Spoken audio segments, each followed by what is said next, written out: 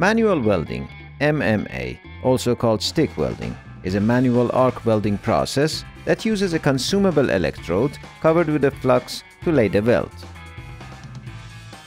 In stick welding, there are three main ingredients for achieving a quality weld. First is choosing the correct welding stick based on the weld material and using the correct welding parameters.